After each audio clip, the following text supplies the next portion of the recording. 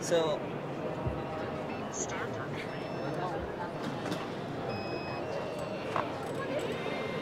Ooh. So hi, so who are you? Yeah, hello, I'm Bob from Free Bionics.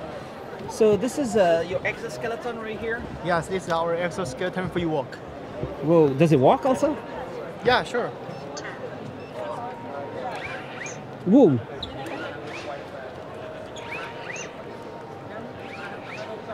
Whoa.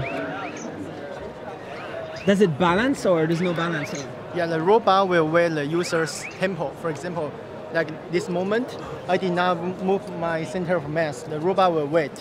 So when you transfer your center of mass, the robot will start the next thing. So we will also like help user to keep the balance. Really? Yes, No falling. yes, we can say. Yeah, we always think how to avoid, avoid, uh, avoid. Yeah, point. So right, right here you have uh, an example on your video.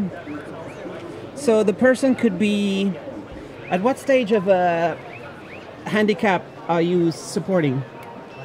Yeah, so Not fully handicapped. You need some movement. Yeah, so like uh, for example, for the spinal cord injury patient, like even like a complete injured patient, it's possible to use our device. Yeah, Complete. yeah, complete injury, like a totally paralyzed. They Really? don't have any muscle power, but by free walk they can stand up, walk, like nature. like- Really? Yeah, like health guy. Just like uh, this guy. Uh, What is he doing now in the video? Yeah, this guy now is doing the like a robot sharing model. We call it Wau. Robot sharing. Yeah. So the user they can buy one unit, but uh, the, there's also a reason is they are not going to use a device for whole day, so they can share the device with other people who have the, these needs. Sharing. Sharing, yeah. All right, but uh, you want everybody to have one, no? Is there any chance that this can be affordable enough, available for everybody, it change the world for everybody? Yes, that's our vision. But how far is it? yeah, well, actually we are work, working on now in the wo- world there are like uh, many person user and the hospital they already have our device. So, since when are you doing this? Actually, our team, we were, we were uh, like a research team in under Taiwanese government research institution. We spin off from 2007, uh, 2016, and we create our own company, yeah, from 2016. But before that, we also have the experience for like uh, this kind of exoskeleton robot or also industry robot. Can you show more? Sure.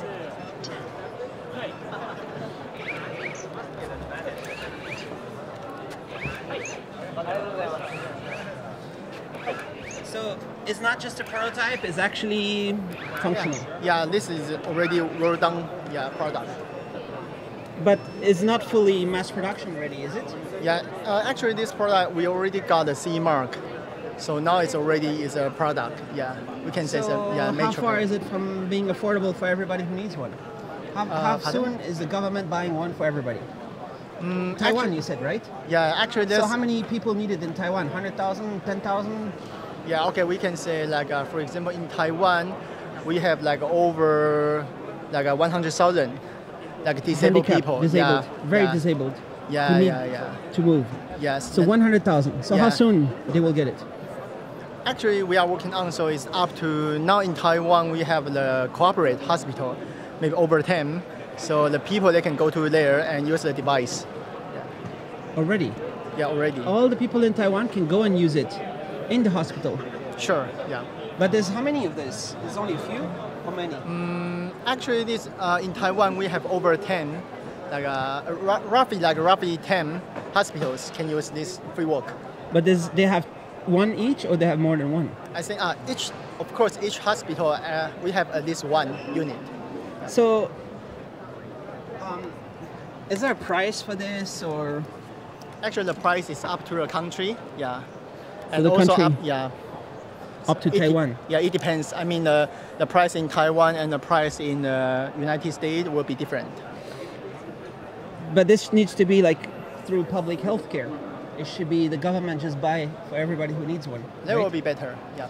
And then, uh, is there a question of the speed and everything? How fast you can't run with it?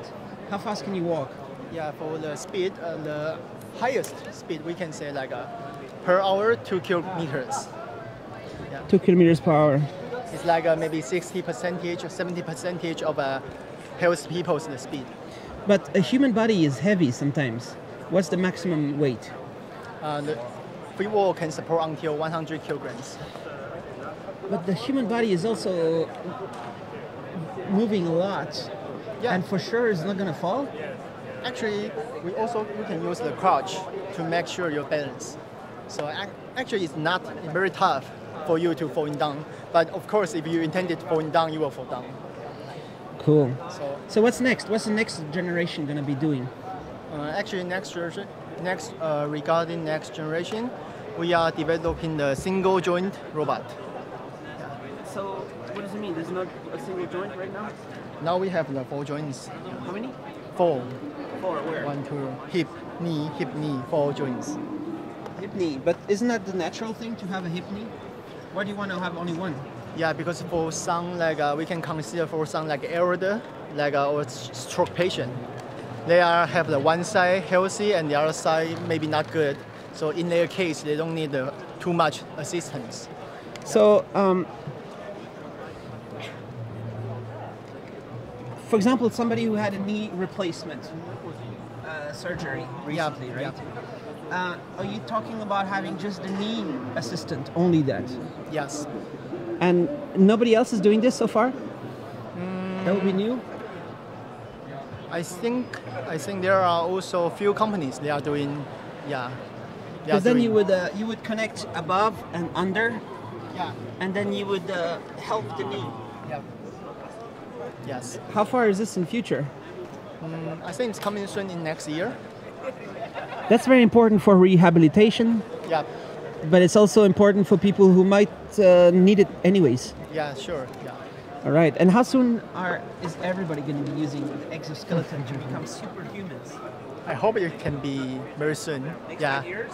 Yeah, we actually actually we are working yeah on maybe next three years. Yeah. What is a superhuman going to be able to do? Jump higher, run faster? What is a how is it going to be useful for everybody? I, I think there's a, uh, an im- important point is the in the peop, uh, in the future the people are getting older and older, so it means the aging is a very serious problem, not only in Japan but also in like uh, in Europe, in America, in yeah. So we have to consider the strategy. Yeah. So this kind of device can help people to keep healthy and also help the people already get a mm, like their muscle is already getting weaker, we can help them, assist them to walk like a natural, uh, natural guy. It should be a priority and just put all the resources needed in that, right? There's so many people that have, well, as the whole life is, is affected, Yeah, and they need to get um, um, assistance upgraded. yeah, yeah. yeah. So is it moving fast enough? Do you think? It's very impressive, and you just won the best startup here, right? Yeah. But um, are you moving as fast as you want to get this into the mass market? Sure, we can adjust the speed actually. But the moving fast enough, I mean, like, uh, is there enough traction? Uh, every country is talking to you, or, you know, is Japan buying this in Europe? Are you selling in Europe? Yeah, we are USA? already selling in Europe. Yeah, All right. In in where in Europe? like in Italy, Italia. Yeah, and also in Holland. Yeah, and also like UK. All right.